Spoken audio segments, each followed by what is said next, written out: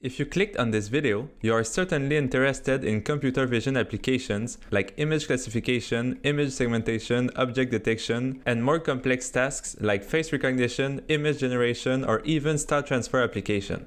As you may already know, with the growing power of our computers, most of these applications are now being realized using similar deep neural networks, what we often refer to as artificial intelligence models. There are of course some differences between the deep nets used in these different vision applications, but as of now, they all use the same basis of convolutions introduced in 1989 by Yann LeCun.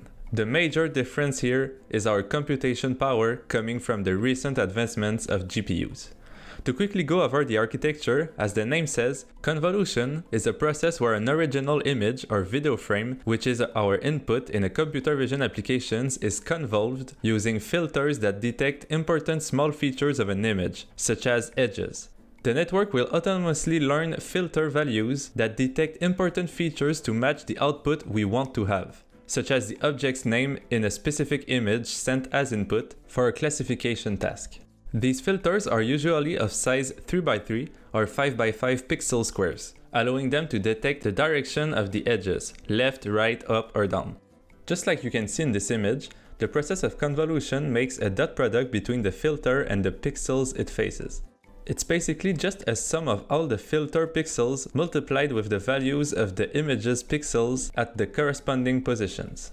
Then it goes to the right and does it again, convolving the whole image. Once it's done, these convolved features give us the output of the first convolution layer, which we call this output a feature map. We repeat this process with many other filters giving us multiple feature maps, one for each filter used in the convolution process. Having more than one feature map gives us more information about the image, and especially more information that we can learn during training since these filters are what we aim to learn for our task. These feature maps are all sent into the next layer as input to produce many other smaller sized feature maps again. The deeper we get into the network, the smaller these feature maps get because of the nature of convolutions, and the more general the information of these feature maps become until it reaches the end of the network with extremely general information about what the image contains disposed over many feature maps, which is used for classification, or to build a latent code to represent the information present in the image, in the case of a GAN architecture to generate a new image based on this code, which we refer to as encoded information. In the example of image classification, simply put, we can see that at the end of the network, these small feature maps contain the information about the presence of each possible class, telling you whether it's a dog, a cat, a person, etc. Of course, this is super simplified and there are other steps, but I feel like this is an accurate summary of what's going on inside a deep convolutional neural network. If you've been following my channel and posts, you know that deep neural networks proved to be extremely powerful again and again. But they also have weaknesses and weaknesses that we should not try to hide. As with all things in life, deep nets have strengths and weaknesses. While strengths are widely shared, the latter is often omitted or even discarded by companies and ultimately by some researchers. This paper by Alan Yuille and Chenxi Liu aims to openly share everything about deep nets for vision applications, their success and the limitations we have to address. Moreover, just like for our brain, we still do not fully understand their inner workings, which makes the use of deep nets even more limited since we cannot maximize their strength and limit weaknesses. As stated by O. Hobart, it's like a roadmap that tells you where cars can drive, but doesn't tell you when or where cars are actually driving. This is another point they discuss in their paper, namely, what is the future of computer vision algorithms? As you may be thinking, one way to improve computer vision applications is to understand our own visual system better. Starting with our brain, which is why neuroscience is such an important field for AI. Indeed, current deep nets are surprisingly different than our own vision system. Firstly, humans can learn from very small numbers of examples by exploiting our memory and the knowledge we already acquired. We can also exploit our understanding of the world and its physical properties to make deductions, something that a deep net cannot do. In 1999, Gopnik et al. explained that babies are more like tiny scientists who understand the world by performing experiments and seeking causal explanations for phenomena rather than simply receiving stimulus from images like current deep nets do. Also, we, humans, are much more robust as we can easily identify an object from any viewpoint, texture it has, occlusions it may encounter, and novel context. As a concrete example, you can just visualize the annoying CAPTCHA you always have to fill in when logging into a website.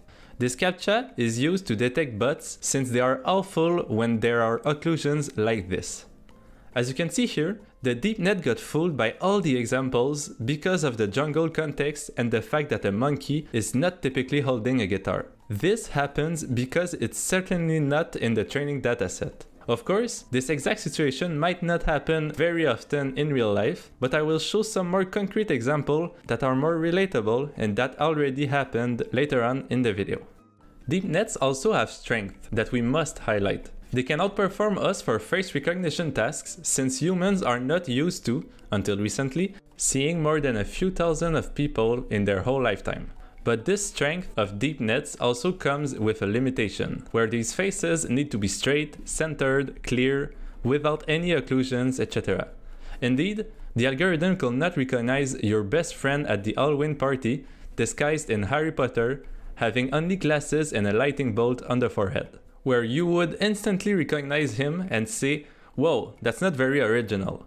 It looks like you just put glasses on. Similarly, such algorithms are extremely precise radiologists. If all the settings are similar to what they have been seeing during their training, they will outperform any human. This is mainly because even the most expert radiologists have only seen a fairly small number of CT scans in their lives. As they suggest, the superiority of algorithms may also be because they are doing a low priority task for humans. For example, a computer vision app on your phone can identify the hundreds of plants in your garden, much better than most of us watching the video can. But a plant expert will surely outperform it, and all of us together as well. But again, this strength comes with a huge problem related to the data the algorithm needs in order to be this powerful. As they mention and as we often see on Twitter and article titles, there are biases due to the dataset these deep nets are trained on since an algorithm is only as good as the dataset it is evaluated on and the performance measures used. This dataset limitation comes with the price that these deep neural networks are much less general purpose, flexible, and adaptive than our own visual system. They are less general purpose and flexible in the way that, contrary to our visual system, where we automatically perform edge detection, binocular stereo, semantic segmentation, object classification, scene classification, and 3D depth estimation, deep nets can only be trained to achieve one of these tasks. Indeed, simply by looking around, your vision system automatically achieves all these tasks with extreme precision, where deep nets have difficulty achieving similar precision on one of them. But even if this seems effortless to us, half of our neurons are at work processing the information and analyzing what's going on. We are still far from mimicking our vision system, even with the current depth of our networks. But is that really the goal of our algorithms? Will it be better to just use them as a tool to improve our weaknesses? I couldn't say. But I am sure that we want to address the deep net's limitations that can cause serious consequences rather than omitting them. I will show some concrete examples of such consequences just after introducing these limitations. But if you are too intrigued, you can skip right to it following the timestamps under the video and come back to the explanation afterwards. Indeed, the lack of precision we previously mentioned by deep nets arises mainly because of the disparity between the data we use to train our algorithm and what it sees in real life. As you know, an algorithm needs to see a lot of data to iteratively improve at the task it is trained for. This data is often referred to as a training dataset. This data disparity between the training dataset and the real world is a problem because the real world is too complicated to accurately be represented in a single dataset, which is why deep nets are less adaptive than our vision system. In the paper, they called this the combinatorial complexity explosion of natural images. The combinatorial complexity comes from the multitude of possible variations within a natural image, like the camera pose, lighting, texture, material, background, the position of the objects, etc. Biases can appear at any of these levels of complexity the dataset is missing. You can see how these large datasets now seem very small due to all these factors, considering that having only, let's say, 13 of these different parameters and we allow only 1000 different values for each of them, we quickly jump to this number of different images to represent only a single object. The current datasets only cover a handful of these multitudes of possible variations for each object, thus missing most real-world situations that it will encounter in production. It's also worth mentioning that since the variety of images is very limited, the network may find shortcuts to detecting some objects, as we saw previously with the monkey, where it was detecting a human instead of a monkey because of the guitar in front of it. Similarly, you can see that it's detecting a bird here instead of a guitar, probably because the model has never seen a guitar with a jungle background. This is called overfitting to the background context, where the algorithm does not focus on the right thing and instead finds a pattern in the images themselves rather than on the object of interest. Also, these datasets are all built from images taken by photographs, meaning that they only cover specific angles and poses that do not transfer to all orientation possibilities in the real world. Currently, we use benchmarks with the most complex datasets possible to compare the current algorithms and rate them, which, if you recall, are very incomplete compared to the real world. Nonetheless, we are often happy with 99% accuracy for a task on such benchmarks. Firstly, the problem is that this 1% error is determined on a benchmark dataset, meaning that it's similar to our training dataset in the way that it doesn't represent the richness of natural images. It's normal because it's impossible to represent the real world in just a bunch of images. It's just way too complicated, and there are too many situations possible. These benchmarks we use to test our dataset to determine whether or not they are ready to be deployed in the real world application are not really accurate to determine how well it will actually perform. Which leads to the second problem, that is, how it will actually perform in the real world. Let's say that the benchmark dataset is huge and most cases are covered, and we really have 99% accuracy. What are the consequences of the 1% of cases where the algorithm fails in the real world? This number will be represented in misdiagnosis, accidents, financial mistakes, or even worse, death. Such cases could be a self-driving car during a heavy rainy day, heavily affecting the depth sensors used by the vehicle, causing it to fail many depth estimations, would you trust your life to this partially blind robotaxi? I don't think I would. Similarly, would you trust a self-driving car at night to avoid driving over pedestrians or cyclists where even yourself had difficulty seeing them? These kinds of life-threatening situations are so broad that it's almost impossible that they are all represented in the training dataset. And of course, here I use extreme examples of the most relatable application, but you can just imagine how harmful this could be when the perfectly trained and tested algorithm misclassify your CT scan, leading to misdiagnosis, just because your hospital has different settings in their scanner, or because you didn't drink enough water or dye. Anything that would be different from your training data could lead to a major problem in real life, even if the benchmark used to test it says it's perfect. Also, as it already happened, this can lead to people in underrepresented demographics being unfairly treated by these algorithms, and even worse. This is why I argue that we must focus on the task where the algorithms help us and not where they replace us, as long as they are that dependent on data.